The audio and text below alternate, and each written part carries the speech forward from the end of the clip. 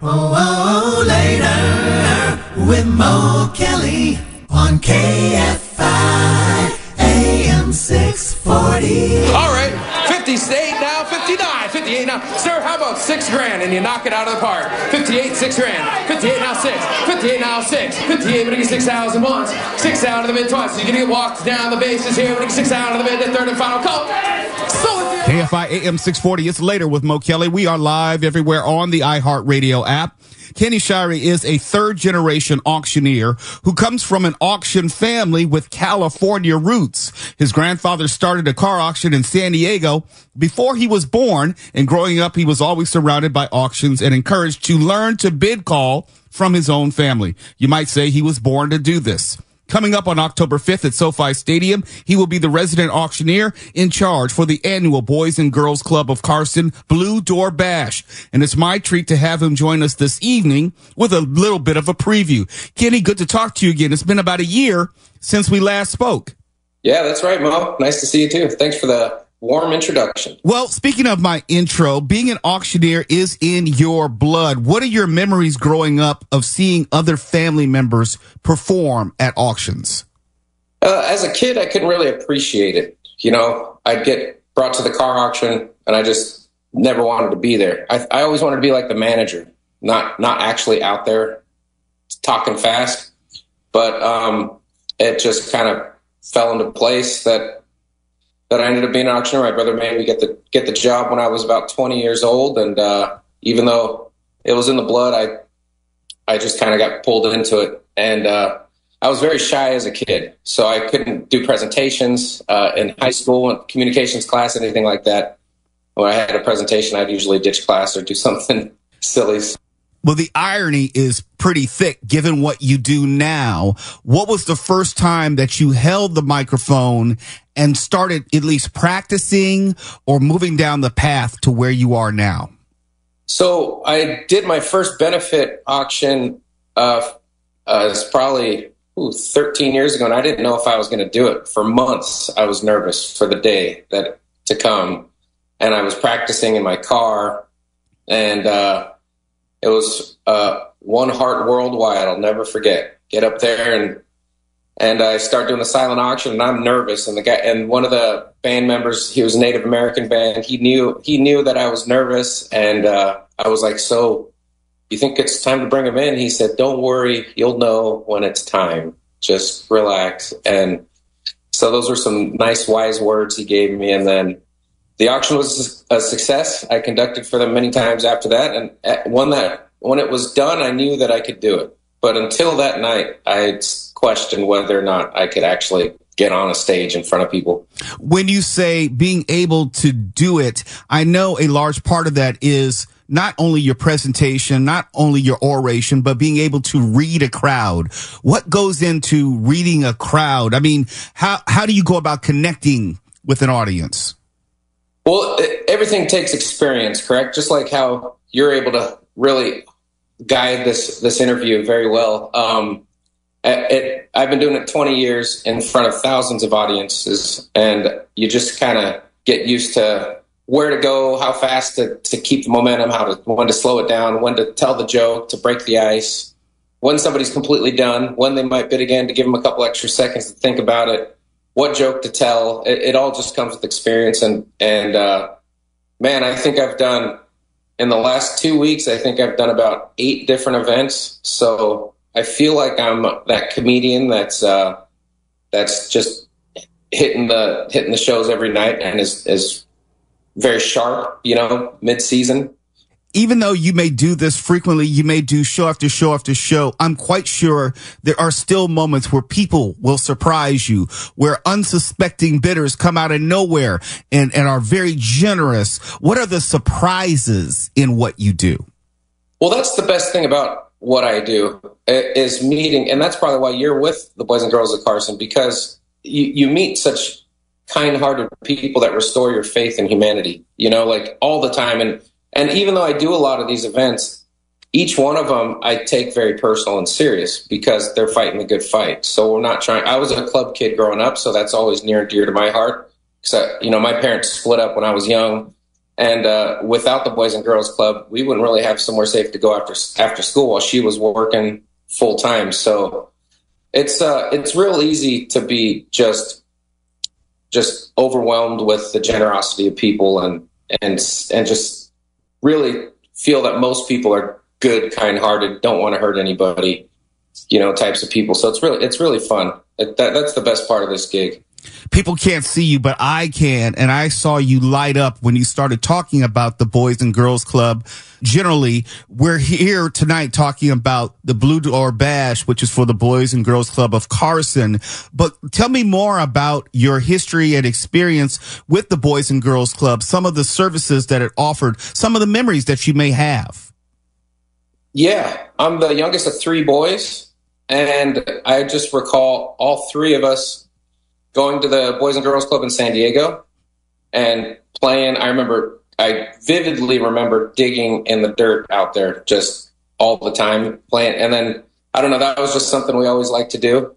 And as far as the Blue Door Bash, I was telling Nina that I wish all the events that I did were as successful and well planned like like that because it was just such a magical moment last year. Being my first year with them, I'm excited to come back because they they know how to put on a good event. You know, cater to people, have good food, good timing, good items. You make mention of Nita Patel, who's the vice president of development for the Boys and Girls Club of Carson. It is a world class event and we're going to have some world class items and opportunities oh, yeah. for people to bid on, not only in the silent auction, but the live auction. And this is, I don't know, maybe the sixth or seventh year I've done it with the Boys and Girls Club of Carson. So I am really excited and expectant because I know what's going to happen. You know what's going to happen, but I'm glad we get to be able to talk to this larger KFI and iHeart radio audience so they can get in on it as well. Now, since I said in, in the introduction that you're like the third generation in your family, did the family put that pressure on you to go down this road or did you just naturally adopt it and felt compelled to follow that path?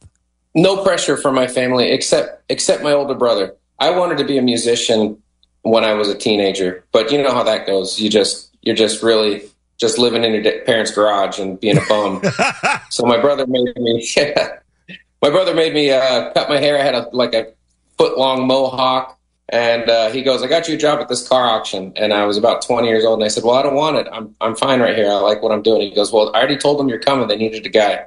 So, uh, so a month later, I did that auction. And that, that's who forced me into it. And thank God he did, because now that's how I'm, you know, supporting my family and found out that I really love it and that I can do it. So he's the only one that pressured me if you're just tuning in, my guest right now is Kenny Shirey. You'll be able to see him in action at the Blue Door Bash Gala on October 5th at SoFi Stadium event. I am also emceeing. We'll have more with Kenny Shirey in just a moment.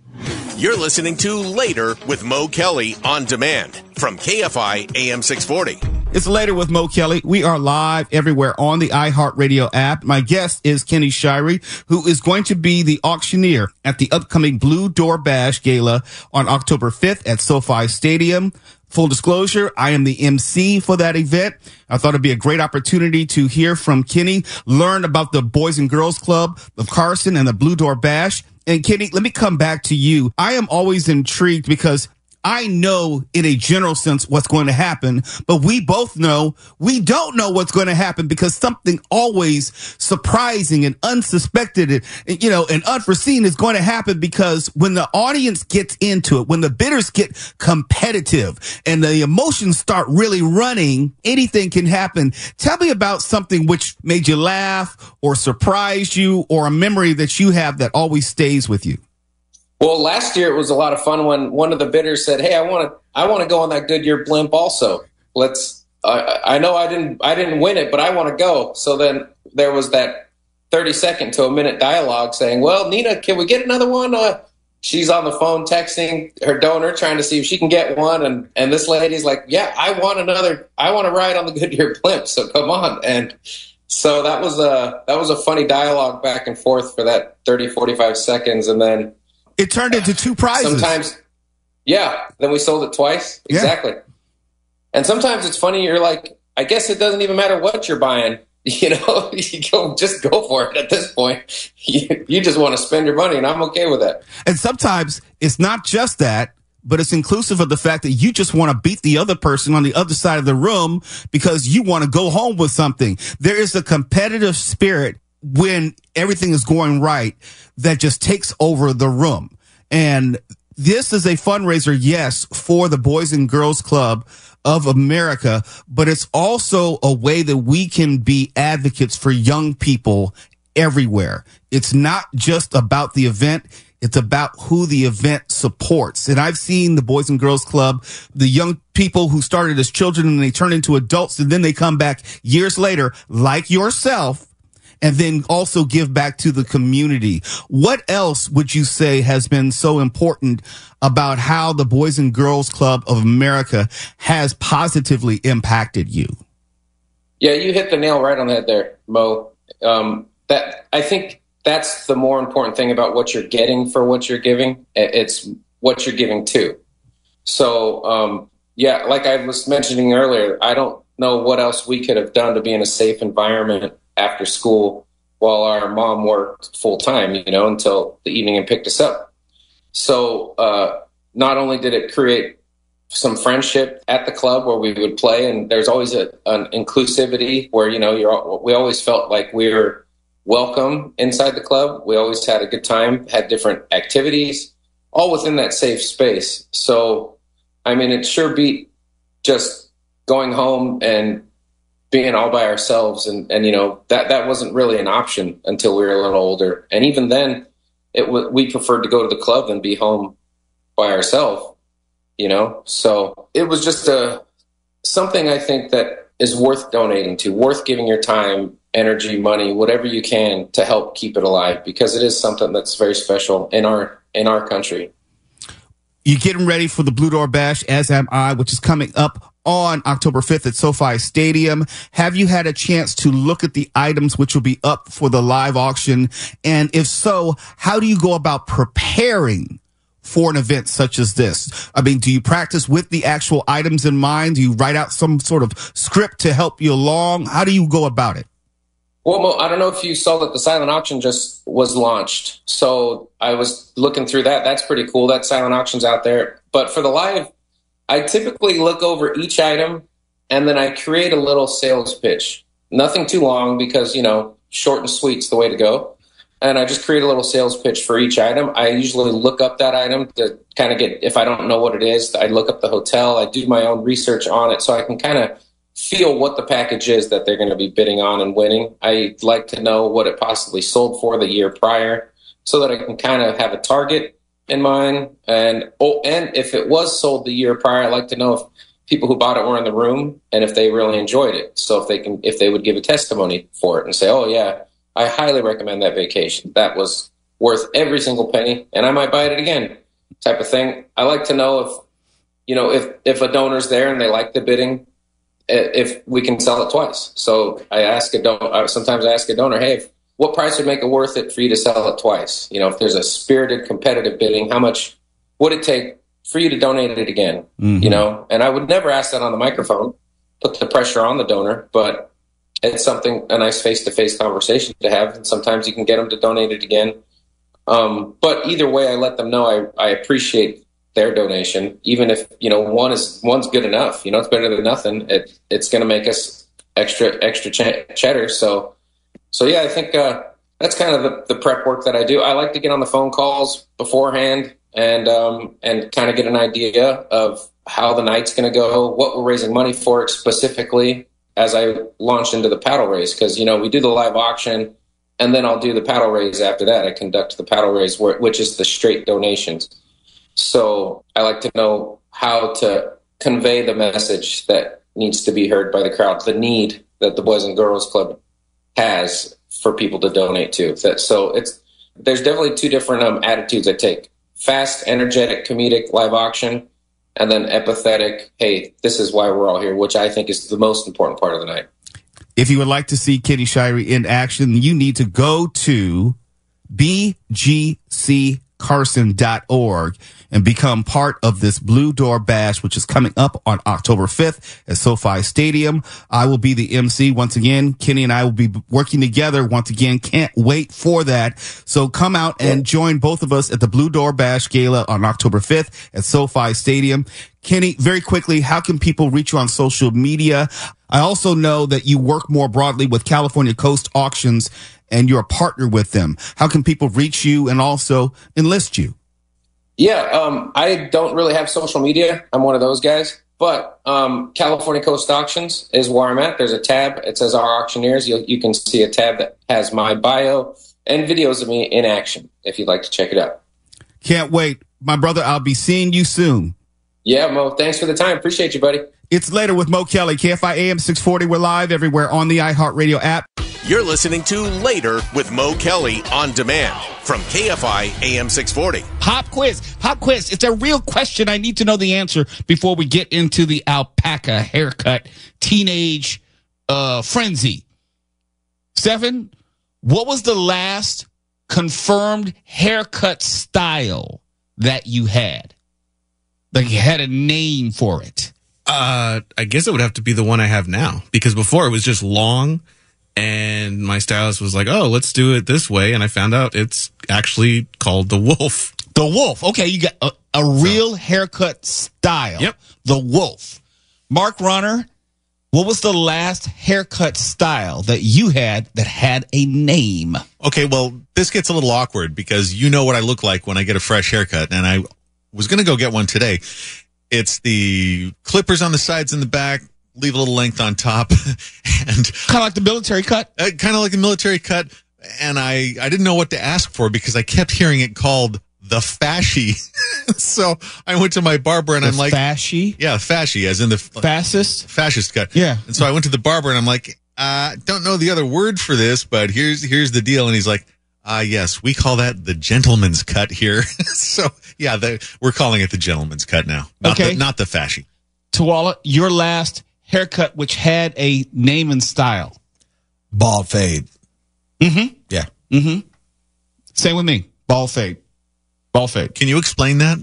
Um, the fade haircut, which was somehow remade popular by Travis Kelce this past football season, is actually a haircut which originated within the African American community. It fades up from the skin to just a little bit of hair on top. It's it's very similar to a military haircut, but a ball fade is so low you're barely above the skin. I've grown kind of addicted to watching these barber videos on uh, Instagram, and I cannot explain why, but they do a lot of that. Yeah. Yeah. The bald fade, I mean, it's a classic. It's almost like one of the first haircuts you learn in cosmetology when cutting hair. It's very easy to do. Yeah, they take these guys and they sit them down in the chair looking like a werewolf, and by the time they're done, they look like a human being. I have to keep reminding myself because Tuala keeps burying the lead that he went to cosmetology school. Oh yeah, Yep. So he knows what he's talking about. Yep. No, yeah. can you cut my hair, Tuala? I probably could. I'd oh, like We got to do an Instagram live on that one. yes, yes. I'd like the Captain Kirk, please. it's, it's been a minute, but yeah, let me brush up. Okay. Well, there is a new haircut for teenage boys, and it's a sensation.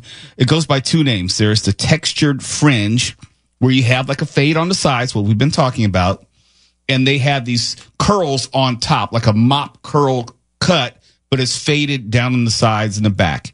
And it's also called on social media the alpaca. This is what Morning Edition had to say about it. Okay, we now have important news about hair, specifically the hair of younger men. Yeah, it seems like a lot of teenage boys are getting this one particular haircut. It's a fade on the sides That's with what a I said. poof of hair on the top, and That's sometimes said. with tendrils dangling down over the eyes. Now we say teenage boys, but I'm sure you have a haircut like this used to. out there in LA. Anyway, a few months ago, TikTok user Tara Fontana, who goes by the name Terrible Tara, compared it to the look of a certain woolly mammal. Y'all, I have an alpaca son. An alpaca. Herson Batiste owns Heritage Barber and Company in Kensington, Maryland. He says he gives six or seven of these cuts a week. From 12 year olds to 30 year olds. I've seen it on all types, all ages. All types. It's, it's, it's a very trendy haircut. Now, he doesn't call it the alpaca or its other popular name, the broccoli. Oh, the broccoli. I can picture it. It took me a second there. But he doesn't call it the broccoli. He calls it textured fringe. It's a lot of volume on top. You know What I mean? means like the, the texture of the hair rises. If I could just say like an old mop, like an old mop on top of the head. And then uh, our job is to kind of blend it in. Okay, it's it's curls on top, fade on the side.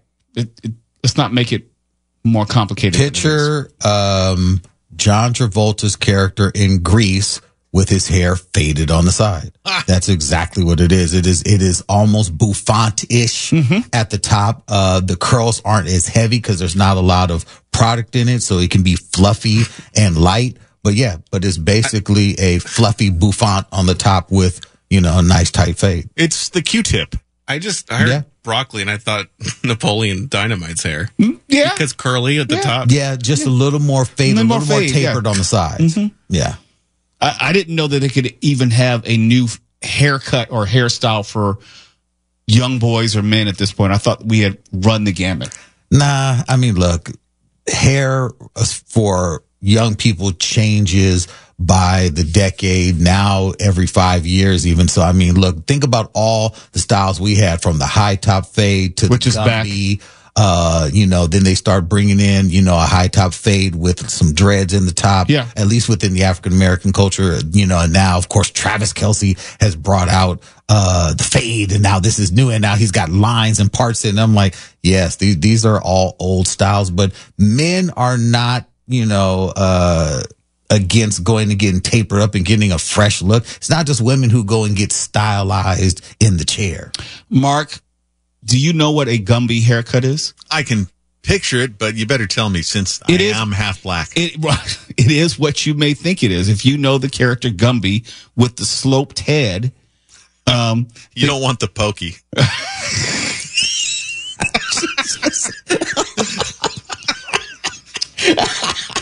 never mind. Just No, never no, freaking please mind. continue. No. The Gumby is what you think it is. Uh, Bobby Brown actually made it famous. He wasn't the first to have it, but he made it famous because he wore it in his music videos. The Gumby haircut, the sloped afro. Well, who doesn't look good in that? Look, he, With he- some, it uh, was it was big it was a big deal back then. It you got to wear big deal. parachute pants with it, though, right? and he did. Okay. yeah yeah you know but but look i had parachute pants but there are some things which are cyclical you know you know in the way that you have bell bottom pants which are back in style now the hairstyles are coming back around the high top fade is coming back around you look at um Stefan's hair i don't care what they call it looks like he's out of 1977 It's the Sasquatch. Right. You know, it's like it, everything old is new again. And I just found it funny that social media now is impacting hairstyles for teenage boys. That's something I hadn't seen before. Teenage girls, oh yeah, absolutely. The Gumby is the best way to describe it. It That's really like you're too young to remember it. You wouldn't have any memory of the Yeah, Gumby. no, I just looked it up. Oh, That's yeah. why I'm like, it's that's the That's most exactly what it is. accurate way you can describe It's it. It's the Gumby. And, you know, I don't know if kids today have even seen Gumby because I don't see it in syndication anywhere. Oh, come on. Everybody knows Gumby. No, I would not be so sure. no Because if you don't know the original Gumby, you know the Eddie Murphy Gumby. Kids wouldn't know You that. know, that's 1980s. I'm not so sure. Come on. no I'm being seriously? sure. I'm being serious. ask someone in Yeah. their 20s wait a minute lindsay have you ever heard of gumby Yes, I have, but only because my cousin is 12 years older than me, and I used to watch his old like uh, VHS tapes. All right. How about this? Are you familiar with the show Davey and Goliath? I've heard of it, but I'm not familiar with it. Oh, Davey. Goliath. You- you- None of that. The stop No. motion claymation show, I don't think so. and they'd Maybe have if a I saw religious, picture. and they'd have a religious message every single Oh show. yeah. Even I, I I think yeah. If she would have, if she sees the picture, I think she'll know because I, I wasn't sure either until I saw the picture. Yeah, I didn't know because when I was growing up, it's like I just thought it was a not a cartoon, but a claymation type And show. now I'm realizing what. uh Oh yeah, I've I've seen this. Yeah, see. Uh, what Robot Chicken does because they have like a, a a parody on that, and I'm like, oh, that's what it's probably based on. Yeah, fun of. and they're playing like a mighty fortress is our god as the intro. It's like I didn't know this was a religious show until you get older and realize, hey, this is a religious show. Kids will watch any animated thing and they don't care what it's really No, they don't, as long I'm as it's animated. It had a nice message about you know being a good person and growing up and doing the right thing, and and then you realize because I'm into music, you start playing this music in either church or or the band or what have you, and you realize, oh, that's where that's from. I just thought it was the theme to, to Davey and Goliath. Can you pull it up real quick, Stefan? Theme, Davey, Goliath, YouTube, so people know what I'm talking about. We'll have to edit out the podcast, but that's neither here nor there. At least they'll know what. You, know, what? you don't want to cease and desist from Davey and Goliath. I don't even know the company which was responsible for it. I can't even remember. Uh, uh, Was it? God.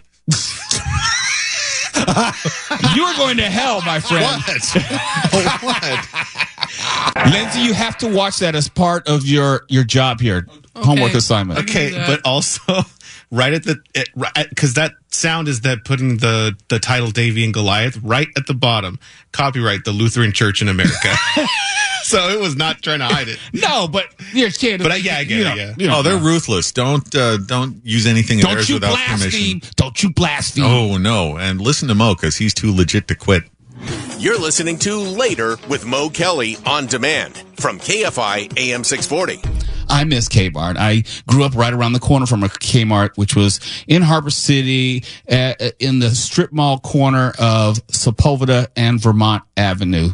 And it's a place that I'd hang out with my friends. We go there because there was really nowhere to go. We didn't have any money and we didn't have any transportation. So we would go to the local Kmart and cause a ruckus. We would do mischievous things. We would go to the stereo area where they had all the radios and, and we would set all the alarm clocks to go off at the same time, the alarm clock radios and, and put all the volumes to 10.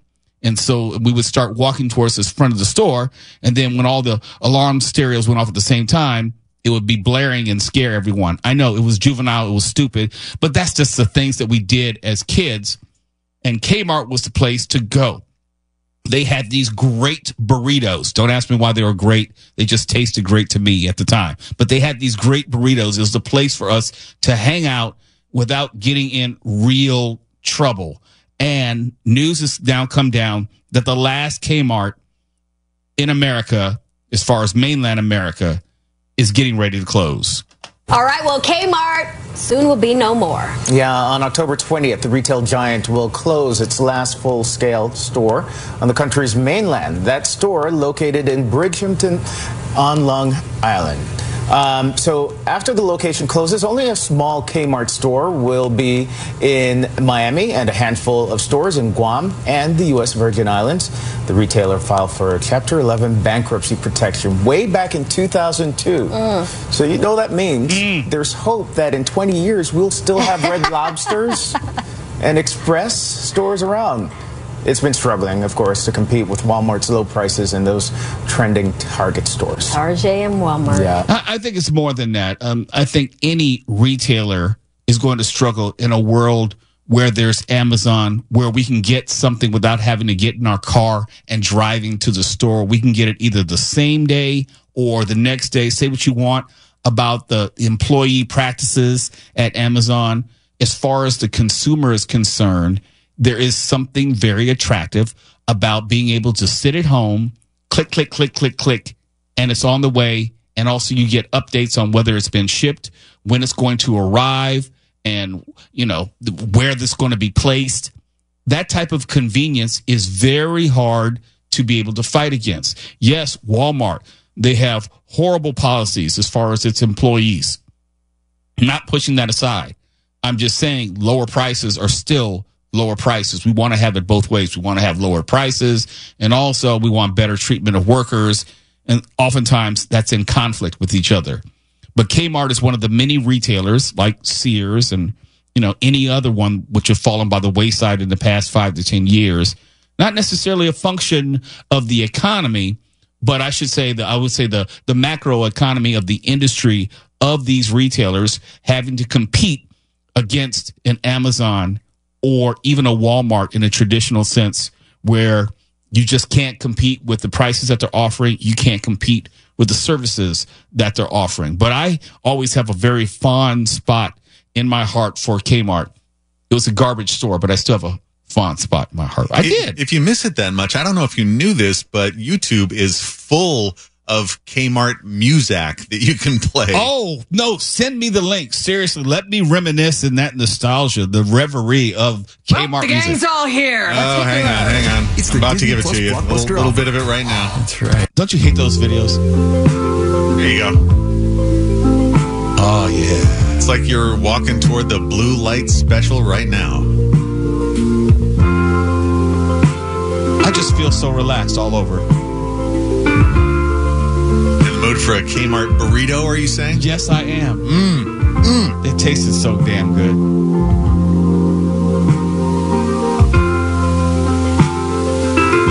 Okay, if I play any more, I'm going to go to sleep. So we'll have to go to the Did news. Did you ever buy anything on a blue light special?